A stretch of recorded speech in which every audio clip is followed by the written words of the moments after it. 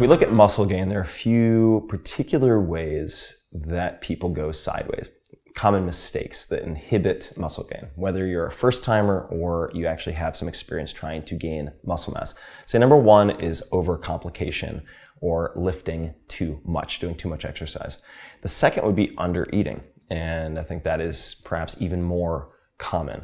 My general recommendation would to keep things as simple as possible and look for the minimum effective dose. Just like medicine, you're looking for the dose that gets you the desired effect without unintended side effects, right? Like nervous system fatigue, difficulty sleeping if you overtrain and lift too much, for instance.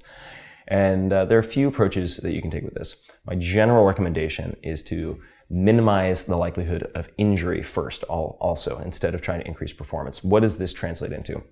I would suggest if you are lifting, particularly as a novice, that you consider either two full body workouts per week, Monday and Friday, uh, where you are using primarily, and a lot of people are going to hate this recommendation, you're using primarily machines and uh, you are doing two movements for pressing, two movements for pulling, and two movements for legs.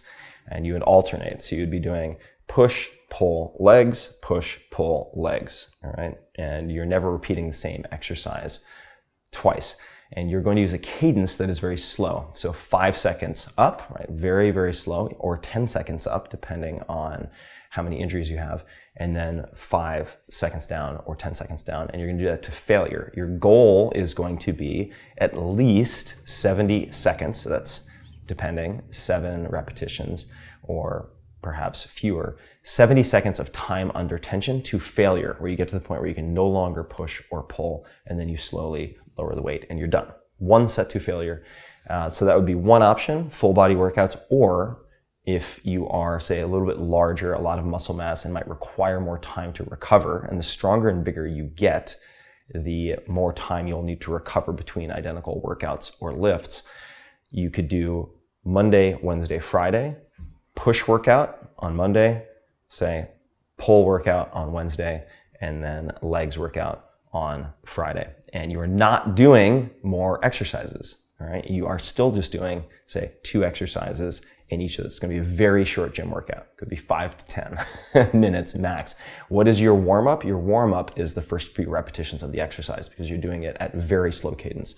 And then in terms of under eating, we won't spend a lot of time on it, but when in doubt, eat more. Do not try to get super lean and super big at the same time. If you're trying to add muscle mass, uh, err on the side of adding a little bit of fat, and then you can always lean out afterwards.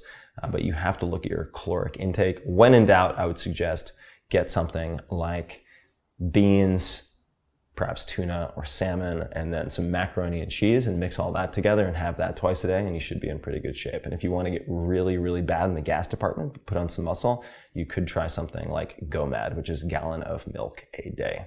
But I would recommend you not have any roommates in that case. So simple, infrequent, to failure. Don't forget to eat.